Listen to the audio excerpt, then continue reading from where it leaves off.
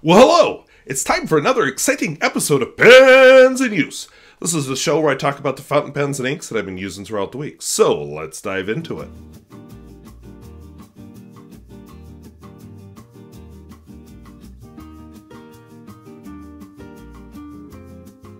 If videos like this interest you, where I talk about fountain pens, both new and old and at all price points, I would invite you to subscribe. And I had three comments over uh, on my last video, the Geha video, where I mentioned, you know, my Panasonic, Lu Panasonic Lumix, which I've used for years as that camera, fell over.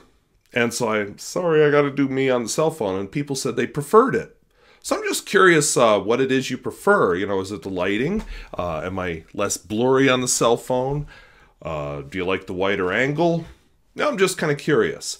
And by the way, this is here, it will be here because uh, I'm doing this old school tonight. I, I kind of got away from filming both parts of this at the same time, just to kind of as a time saving measure.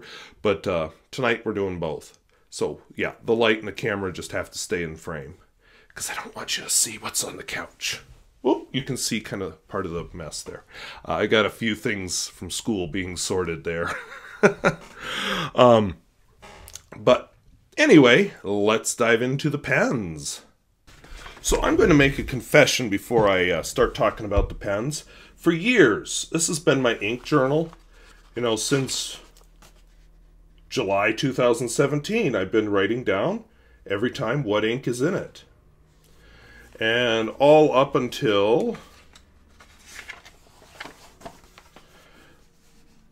I kind of stopped November 13th because I wanted to save the final page for pen reviews or for a review of the notebook, which I will need to figure out what it is because I don't remember anymore, but hopefully I can find it again.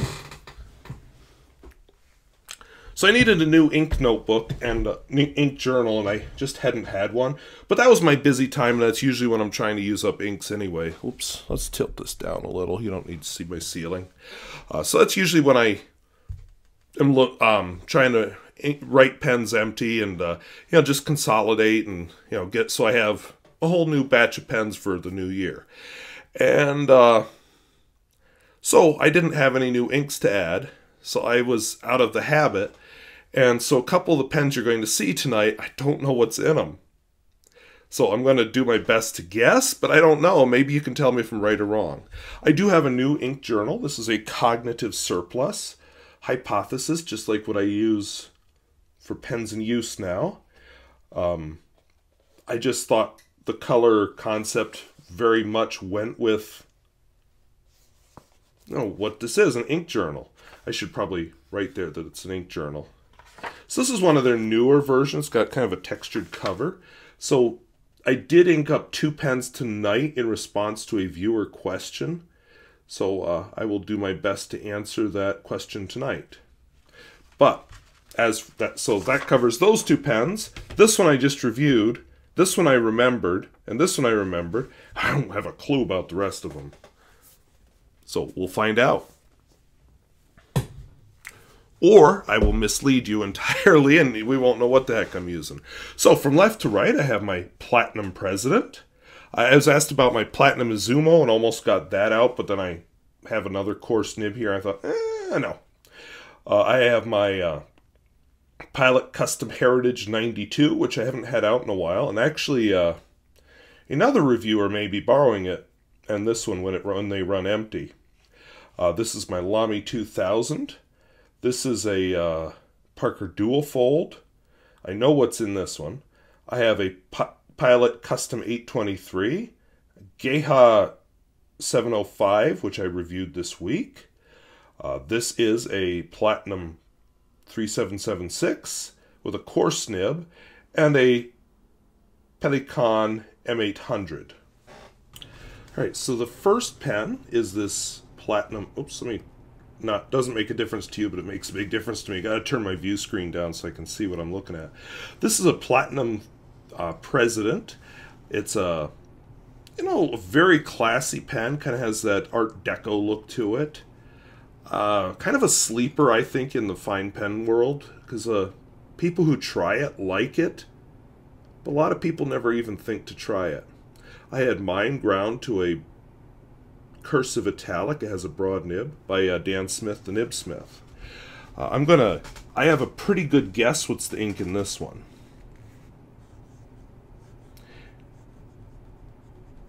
So Platinum President.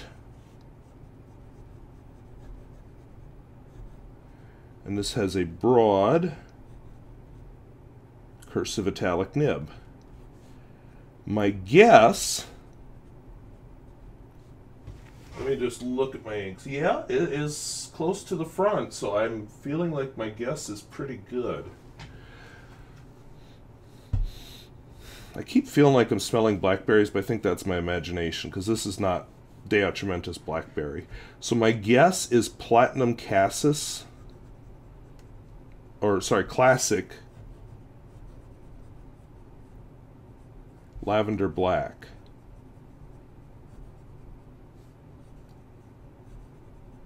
I don't know that, uh, but just judging by the color change it's doing and the color it actually has, that seems like a good guess to me.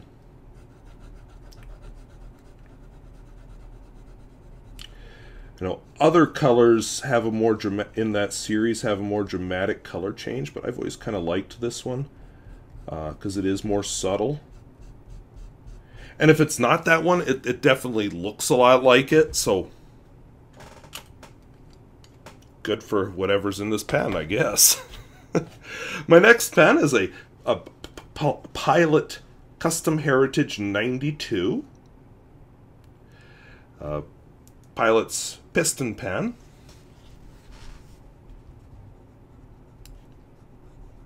This has another iron gall ink in it. Uh oh Haven't written with it this particular one in about three days because I, uh, well, let's be honest. I haven't written with any of them except the Parker Dual Duofold in about three days because I've been busy. But, uh, so this ink may have dried up a little in the nib, so we'll just wet it here on the where you can't see it. And it's shame. Platinum custom. You know, fun thing, um, I was getting to the point where I was thinking that this pen only worked with one ink. Oh, forgot the number, 92. I, I was getting to the point I thought it only worked with one ink, because I always use Mata Hari's Cordial in it, which is a Noodler's ink that I really like. And so a couple of times I tried writing with something else in it, and ugh. so uh, I decided to put this in it. This is Rohrer and Klingner, Scabiosa, and uh, I don't know why. It just kind of seemed right to me, and I just wanted to see uh, what it would look like. And at first, it was doing that thing where, with hard starts and skips, and then all of a sudden it just started flowing beautifully. Um, that last week of vacation, I filled this pen three times with this ink. And, uh, I mean, I was writing everything with it. I just was really enjoying this pen and ink combination till, you know, what happened just there.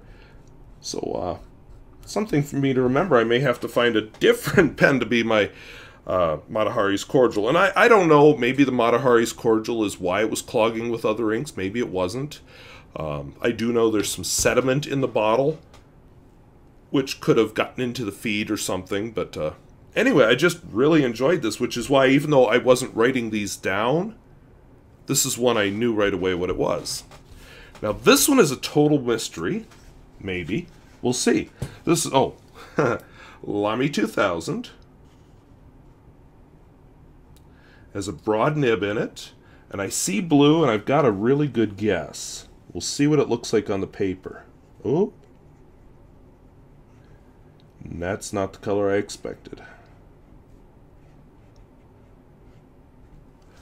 So this is obviously blue. As to which blue, don't know.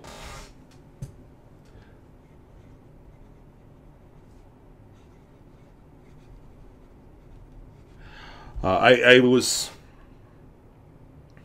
Ooh, I had a thought. Just had a thought.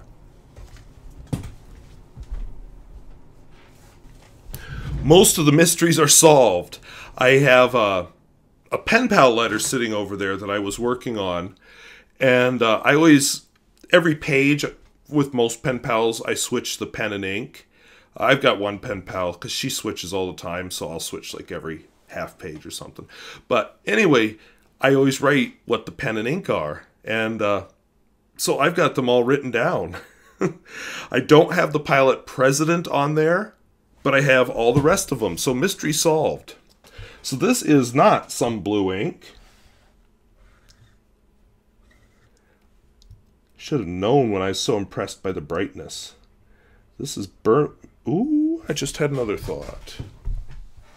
Maybe. Okay, so you remember when I said I've been a little hoardy this week? Uh, I, what I mean by that is I've been sloppy about putting things away. And guess what's still out? The three bottles of ink that I filled. So yes, Rohrer and Scabiosa, Birmingham Pens Cathedral of Learning Panther Blue. I'll probably need three lines for that. And guess what the first one is? Not classic lavender black. It's Montegrappa Bordeaux. Uh, ink which sadly is no longer made. So I need to do a correction here. So we'll just uh, do it with the Parker Duofold because it's got a fine point nib and it'll fit. M-O-N-T-E Montegrappa. I may misspell this. Montegrappa Bordeaux. So, happy day! Hey! So, this is Birmingham Pens, which they uh, quit making inks for a while while they reformulated and started to make their own inks. Um, and I haven't seen an equivalent to this one up on their website yet. But I hope I do because it's a very nice blue. Not that I really need more ink or am planning to buy more inks, but uh, still, this is a good one.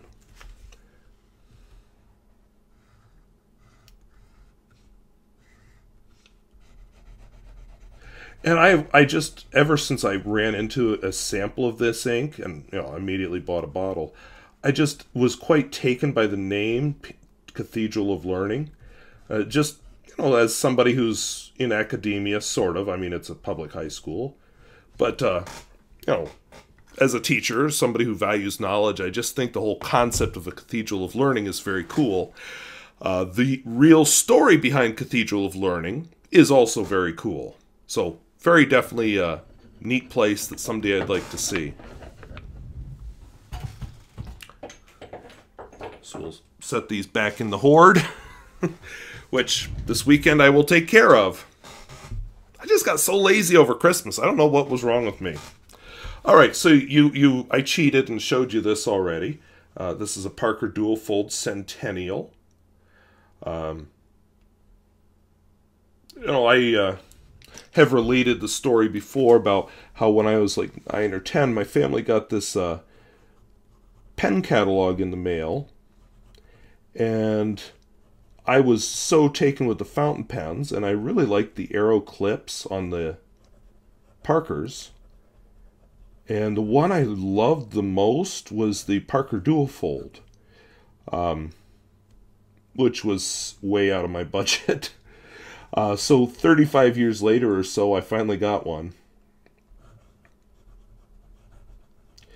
But uh, yeah, it is a very nice, well-made pen. Uh, I, I know people say that Parker isn't very exciting, but uh, I think they make attractive pens. Not exciting pens, but attractive quality pens. I can only go by the experience I've had. You know, anytime I praise a brand, I will have somebody comment and say, "Well, I had one once and it skipped like a, like the Dickens," and I'm like, "Okay, yeah, that was your experience." Uh, I've had pens that I have trouble with. In fact, uh, I have a certain big name pen right now that I filmed the first impression, the writing part, and uh, was going to uh, do the talkie part another night, and discovered that, you know, filling it, it was awesome to write with that first night. Been pretty miserable since that night, so uh, you may not ever see that pen because I don't like to do negative reviews. Because the thing is, you end up reviewing the pen you have rather than the model. Any reviewer you see is not reviewing the model really, they're just reviewing the individual pen they have. So so when you know Matt Armstrong says, "Oh, these Visconti nibs skip," or Stephen Brown says, "Oh, I love my Visconti nibs." You know, they're it's kind of luck of the draw what they have, and I don't know that I reflected either of their positions, but you know, I'm just saying that uh, you don't always get you only get a representation of well, okay, not only the nib, the ink that the reviewer used, the paper they use, sometimes even the envi environmental conditions where they are. You know, where I'm at is quite dry. Somebody in a more humid location might have very different results with a fountain pen. Okay, so enough preaching. Back to the story. So this is a Pilot Custom 823. Uh, it doesn't get a heritage like the 92 because it has rounded ends. As somebody pointed out to me at one time because I said it wrong on a video. So this is the Pilot Custom. And isn't that... Oh, oops, you didn't see any of it. Isn't that a nice looking ink? And this one I know right away by the color change. Uh, this is my broad because my fine nib is over here and really needs to get put somewhere safer because that whole debacle last fall with a, a bottle of sanitizer. Uh, back when I knew less about COVID 19. Uh, so this ink in it is Colorverse. Jupiter Flyby.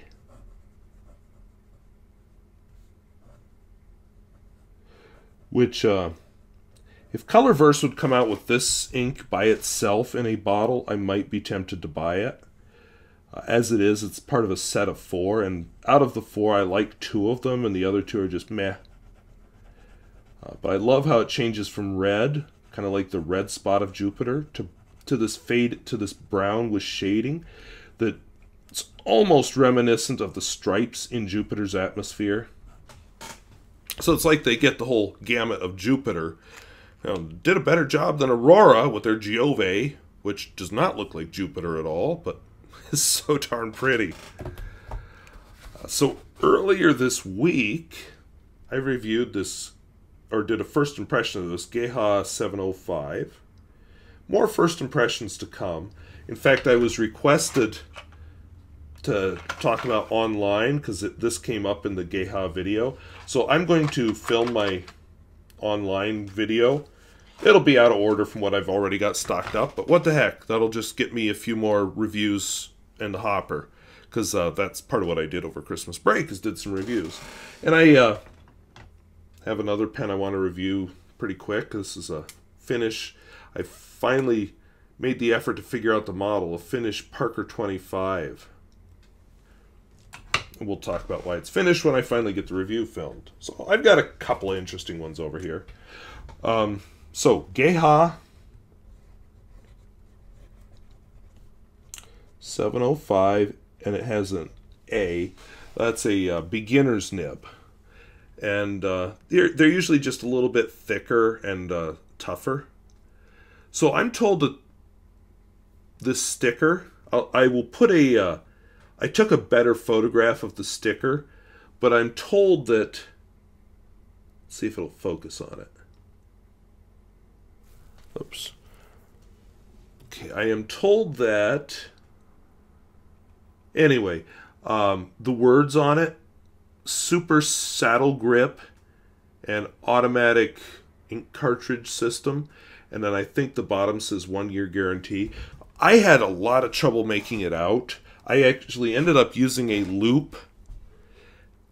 And uh, about the time I was struggling with my loupe and puzzling over those faded letters, uh, one of my German viewers translated it for me. And you know, that's the thing. We'll cap it so it doesn't dry out. If I saw an equivalent label in English, which is my native language, I could translate it. Um, German, not so much. I mean, I took a semester German in college, but it's not like I really know a whole lot of German. I was able to puzzle out like Tinta is the ink and the oh, what was the other part of that? Tinta? Oh, oh, automatic. I was able to puzzle that out. The uh, Sattelgrift, I just I don't know. so, um, and then I figured out at the bottom where it's super faded, there's a one yar, one year. I thought, oh, how about a one year guarantee or else a one year warranty, whatever they do in Germany. So, anyway, this has a rehydrated Geha ink because it's a cartridge converter pen, and Geha cartridges are uh, uniquely shaped. So, the ink in this is Geha Blue. And I don't know about you, but I really enjoy these uh, lesser known, less common brands of pen. Uh, and of course, if you're a German viewer, you're probably saying, well, no, Geha is an office products, and I remember them when, from when I was in school. And you have to remember where I am. I'm in North Dakota in the United States, where Geha never really made uh, much of an inroads, if any at all. So to me, it's it's an exciting pen. All right, so my last two pens come from a viewer question. This viewer asked me uh, to compare the Platinum coarse with a Pelikan Broad. Now, uh, this viewer did not mention what type of pen they were talking about. You know, I, I knew the 3776 because they did say that, but they did not give a model number for the Pelikan. So I have a Pelikan M800. Um, I don't know what the Pelikan M1000 would be like. I have a medium, which is pretty broad. Um, but I've never used a broad. So, you know, I can, again, I can only talk about the pens I have. So this first one is a Pelikan, or sorry, Platinum 3776 with a coarse nib. Coarse is Platinum's word for double broad. And it has a big honking tip on it.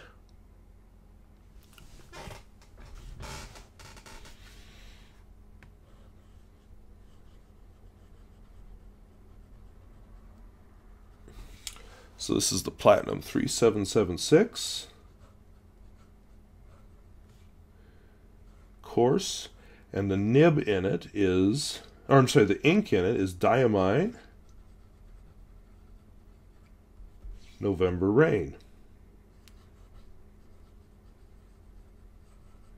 Now I will tell you this paper that I'm using is, it's okay. Uh, it, it's nice for writing purposes. Like if I want to take notes, sketch out ideas, even do like a basic sketch.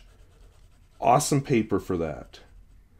This is not a paper that if you were trying to show off an ink that you really want to use. So why did you use it with pens in use? Well, because the night I uh, opened up my brand new Bomo art journal and went to start writing, it was such a failure. And I looked around my house and said, Well, what notebook do you have that you can use next week? And I looked around the house and uh, I, hoarding again. I have a hoard of cognitive surpluses. So guess what? We're going to go with cognitive surplus till I get to the end of this notebook. And then we'll see. Maybe I'll be talked into something nicer. But I like these a lot for writing. Not so much, maybe not the best for this, because, like, I, I can see a little sheen. Maybe you can around the sevens. That's about it. But it sheens beautifully on, uh, like, Tomoe River paper. All right, my last pen, I, wanted to put the same ink in it because then you could compare like to like. But I just couldn't stand the thought of two pens with the same ink in them, so uh, I did the same brand and the same series, hoping they'd have the same properties. So this is a Pelikan M800. A lot of people prefer this one over like the M1000 because it's just a teensy bit smaller and just a little, little more user friendly.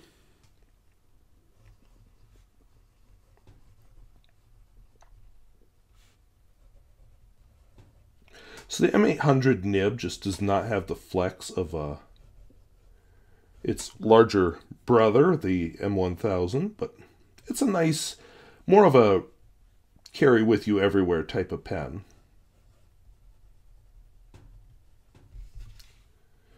Uh, if you carry pens that cost this much with you everywhere, which I do not.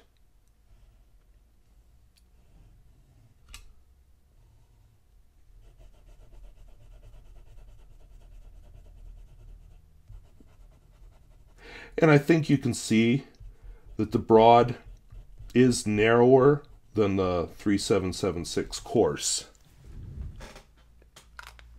So what I'm going to do here, I'm going to do a couple little hash marks side by side.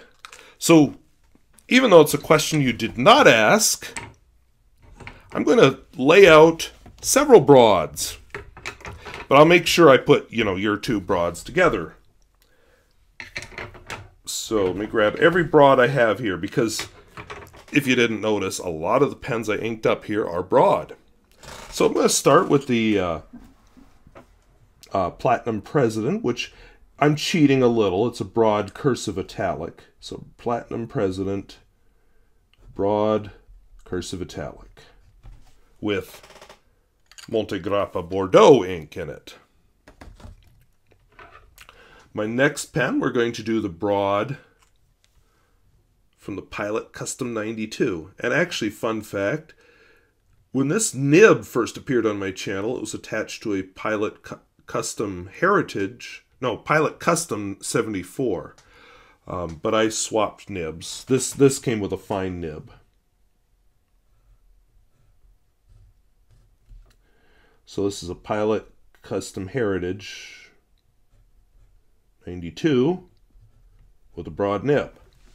And I think you can see it's a definitely finer nib than the cursive italic, but again, that could be the whole italic thing. Uh, then we'll do the Lamy 2000.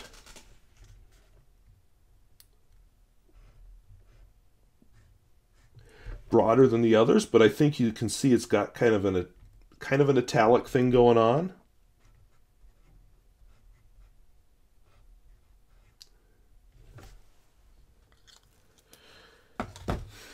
Then we'll... Oh, I should have done the two pilots side by side. Too late. The Pilot Custom Heritage 823. Or, sorry, Pilot Custom 823.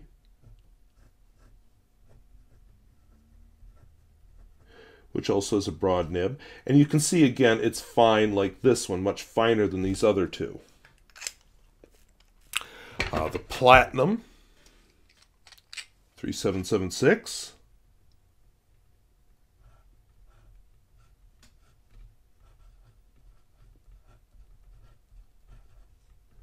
Which has a coarse nib.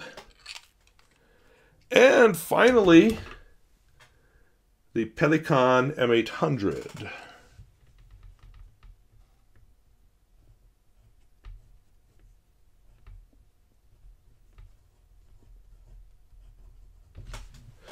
So I would say that uh, it actually, and again, the way it's ground is going to change widths and stuff.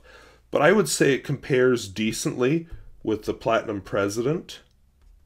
Uh, definitely a little broader than the other two Japanese pens that are broads, but narrower than the Japanese coarse nib, and definitely narrower than the Lamy 2000, although the cross strokes actually look a lot alike. So, make of that what you will. I hope that helped. So, those are the pens and inks that I've been using this week. Uh, hopefully, I answered some questions there about the broad nibs on several pens. I mean, it was just kind of serendipity that I happened to ink up so many broad nibs this week, and uh, I'm just looking. Only one vintage pen in the batch this week, which is also kind of a surprise. But I may have gotten vintaged out with all the first impressions that I filmed. Uh, I brought this up at the beginning, so it's a new year and apparently a new camera, or at least a repaired camera, because I am planning to send the uh, Panasonic in for repairs. But I'm just curious. I had uh, three comments in one video about how much better it looked on the cell phone, so I'm just curious uh, what you liked about it. So uh, let me know down in the comments. I am very curious. Uh, who knows? Maybe I'm, I will admit using the cell phone is a little bit less work. so we'll see. Uh, but you know, it, it could it could be even a setting thing. Like maybe I don't expose it the way people like. Uh, I, I know I, I've been tending lately to expose it so the background's a little darker. You know, I, I don't get that kind of control with the cell phone. But, you know, the main reason I made it darker is it makes those lights pop a little bit more. Which is a silly reason to do it that way, but that's why. Um, but then I have to be careful about my face and how I position these lights to shine on my face. So, uh, yeah, I, I remember the days when I just did this all with natural light, but and holding an iPad in my hand with some, some of the first few reviews. So I've come a ways since then. Oops. Camcorder says, hey, my battery's running out. Or actually, it's saying, hey, you're not using me, turn me off, save the battery. Uh, so anyway, I'm just curious because then I can decide, you know, is it the setting or is it the camera? I like the camera. I mean, if I go hiking somewhere, almost always that's the camera I take with me because it's so light and small compared to the you know the nice camera I have, which also used to be what I did the YouTube channel with, but now that mostly is used for sports photography and uh, stuff like that, where I can where I'm not going very far. Uh, another interesting thing that happened this week, I uh, no, it was last week because it arrived. When I don't know when it arrived. I guess it arrived this week. Anyway, I bought a pen from my Uber. Sorry, they're now called protopens.com, and uh, I uh, I think they must occasionally at least look at my channel because uh, they had a surprise in it. If you've been following the community tab on this channel, I mentioned it. I had a bottle of Parker Quink. Can you see? Oops, it's over here. Bottle of Parker Quink washable blue. And uh, the reason I think they've been watching the, watching the channel is, well, for one thing, I've been doing all my first impressions with this bottle of Parker Quink Washable Blue. They may have seen the level.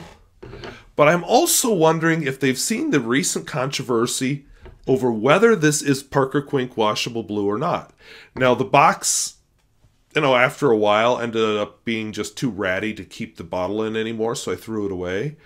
Uh, but it did say Parker Quink Washable Blue But people have been suggesting that maybe what I have is Parker, what's it called? Parker Quink Permanent Blue, which is not actually sold in the United States, but then again, I can't remember where I bought the bottle from, so who knows.